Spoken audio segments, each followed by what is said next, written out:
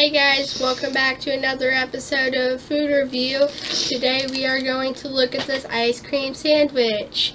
It's pretty delicious, Yeah. so let's go. Once you open it up, you'll find these are just Legos.